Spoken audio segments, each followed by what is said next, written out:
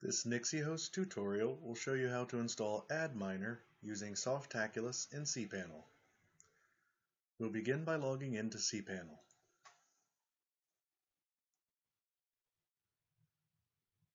Scroll down to the Software section and select Softaculous Apps Installer.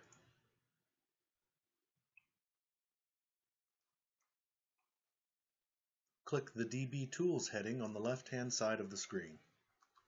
You'll find Adminer in the list below. Click Install.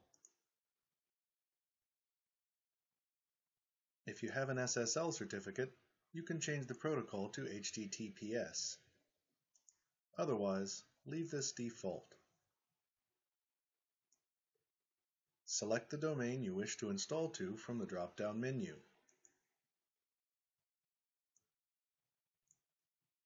If there is a specific directory you wish to install Adminer to, enter it here. If you leave this field blank, Adminer will be installed directly to the domain you have chosen. It's always a good idea to set up a cron job to back up your website. You can do this under the Advanced Options section. When you're finished with configuration, click Install.